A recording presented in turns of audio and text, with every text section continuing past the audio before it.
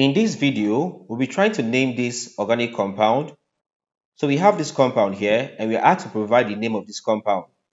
Now for most persons, they will just go straight to saying this one here is a substituent and this one here is also a substituent, but that will be wrong. Why? Because when it comes to naming compounds, there are certain rules or certain laws that governs the way you name organic compound. Now, the first rule in naming com organic compound is that you should identify the longest continuous carbon chain. All right, identify the longest continuous carbon chain. And to identify the longest continuous carbon chain, you have to be able to draw out the given structure in full. Let's draw out this given structure in full. First thing, we have four carbon atoms in a straight chain. One, two, three, four. So I'll draw these four carbon atoms. From here, I would have one, two, three, four. Now observe that each of these carbon atoms are bounded by hydrogen here. One, two, three, four, five, and six. So I'll draw these six hydrogen atoms. From here, I would have this as one, two, three, four, five, and six. So I'm done with this part. The next part here, down here, you can see we have one carbon atom and three hydrogen atom. So let's draw this out. So this becomes here, I have one carbon and three hydrogen. One, two, and three. So this is how you get CH3. That's how you got CH3 here. All right. Next up, at this point, I have one hydrogen downwards. So I'll just come here and write the hydrogen here, add this there. Okay. Next up, you can see that here we have two carbon atoms and five hydrogen. So let's add that, two carbon atoms. So from here, I'm just going to draw a straight line down. Okay, so from here, I'll draw this down. One, draw this down. Two, then we have five hydrogen. One, two, three, four, then one final one. We have this as five. So this is now C2H5. That's this one here. All right, that's C2H5. What's the next task? That the final thing here is that this particular carbon here is attached to one hydrogen. So just go straight to writing that. Um, this atom here, this carbon attached to, towards there, one hydrogen. So we have this. Now, in, after doing this, with, now with this, we've we've drawn out the full structure of the given compound. Let's get the longest continuous carbon chain. Now, in getting the longest continuous carbon, chain, we can see that if we name this as carbon 1, 2, 3, 4, and 5, like this, we just have 5 carbon um, chains, right? But if I start this way, I can go 1, 2, 3, 4, 5, and 6. So with this, you can see that you now have six carbon chains. You can pause this video and see if you can count any other longer carbon chain. With this, you can see that you won't be able to get a longer carbon chain than this. So in essence, we have six carbon chains. And six, as we know, whenever you have six carbon atoms in a, in a chain, uh, we call it a hex. So six is hex. So rule one, get the longest continuous carbon chain. That's six carbon atoms, right, in a single chain. That gives you hex. Rule 2 is that we should identify the functional group. By functional group, we look for single bond, double bond, triple bond, OH, as the case may be. Now, looking at this compound, you can see that we have just single bond throughout. So since we have just single bond, what we have there is an alkane. All right. So we now take the ANE. So combining hex with ANE, we have a hexane. All right. So this becomes a hexane. That's rule two.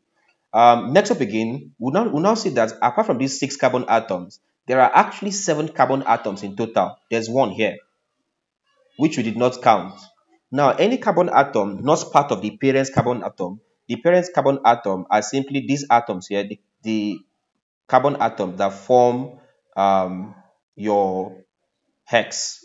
That the, so what you have here represents the parent carbon atom. So these ones here, these carbon atoms here, represent the um, parent carbon atom. So we have this. Bring this down and then bring this way. All right. So any carbon not part of this six is called a substituent. So hence we consider this particular carbon here as a substituent. If we write, if we should write this one here in its molecular formula state, what we have there is one carbon, that's C. You have one, two, three, three hydrogen attached to it, that's H3. All right, so it becomes one carbon, three hydrogen, that's CH3. And CH3, as we know, is a substituent of the alkyl group known as methyl. So CH3 is actually methyl. So we have this. All right. Now, if you're confused with all of this, I've prepared a course on organic chemistry that would help you in naming compounds. Okay. I'll leave a link to the course on organic chemistry in the video description. Okay. So you can check out the organic chemistry playlist so you can see how you name compounds in details. Now, proceeding with this, we have methyl here. Again, observe that methyl is attached to this particular carbon here. All right. So you can see here that this methyl here, this methyl, what you have here is attached to this particular carbon here. And if you look at the number on the carbon there, the number is actually 3. You can see this is 3.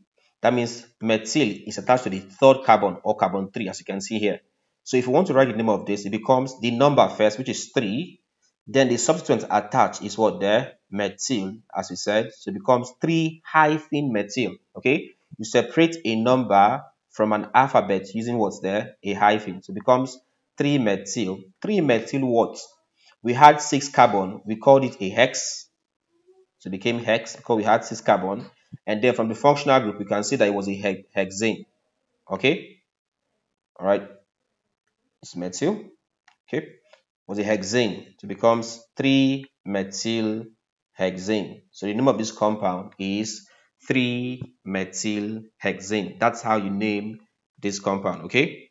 All right, guys, so I've prepared a course on organic chemistry on my website, which teaches everything you need to know about the different um, the different homologous series in organic chemistry from the alkanes to the alkenes, the alkynes, the alcohols, the ether, the esters, the amines, the amines, etc.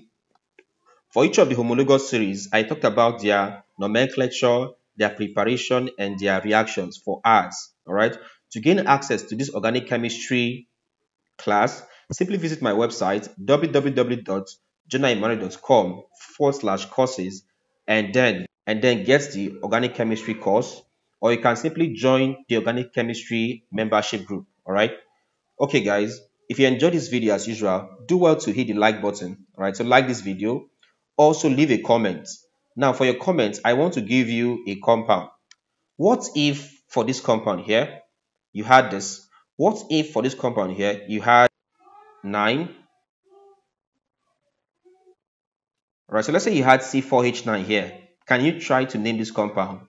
What would be the name of this compound if this was C4H9? Alright, leave the answer in the comment section and I'll tell you if you're correct. Oh, okay.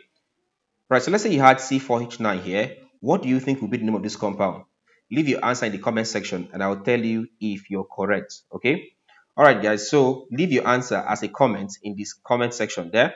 Don't forget to subscribe to this channel. If it's your first time or you're yet to subscribe, please do well to subscribe to this channel and hit the bell icon so that you get notified whenever we upload new content. And then finally, share this video to your friends so that they can also learn.